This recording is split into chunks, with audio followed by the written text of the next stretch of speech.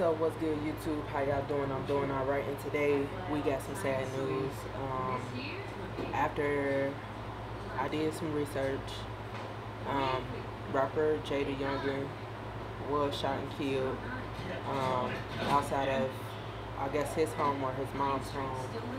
Um, shout out to People Magazine for bringing this. He was born in 1998 and he passed away this year, 2022.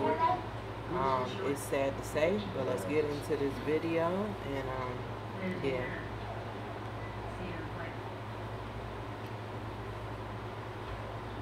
24-year-old rapper JayDaYoungan died in Louisiana after being shot outside of his home. This according to police. A statement from local authorities posted to Facebook indicates that the artist was killed in his hometown of Bogalusa after a shooting on Wednesday evening. In a shared an update identifying two victims, JayDaYoungan and another individual who is described as a close family member. Wow. Bogalusa police said That's crazy. So not only him who got shot, but somebody in his family did too as well.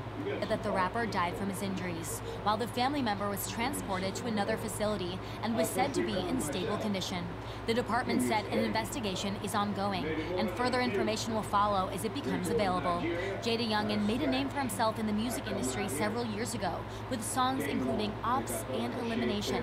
His most recent EP, All Is Well, was released in March.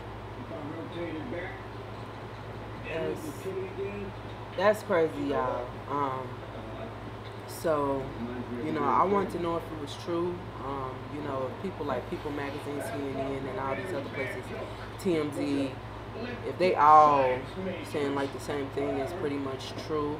Um, so, you know, my condolences go out to his family. You know, hopefully his son is well taken care of. You know, um, whoever his baby mom is, I hope that you know she the help that she needs as far as the child is concerned. And you know, um, you know, everybody lost something in this situation. You know what I'm saying? Somebody about to be found and about to lose their um, free card, should I say? And um, you know, somebody lost their life, somebody lost their father. You know what I'm saying? So this is this is sad. You know, you know, especially for him to be born in 1998. Crazy as hell. But um, until next time, y'all, I'll holler at y'all. Peace.